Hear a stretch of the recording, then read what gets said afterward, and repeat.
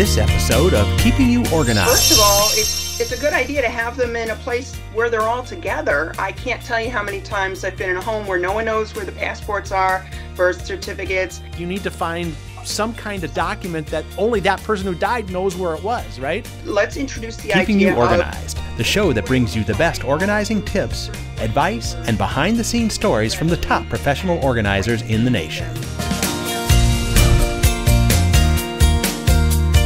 Download at iTunes or visit smead.com forward slash podcast.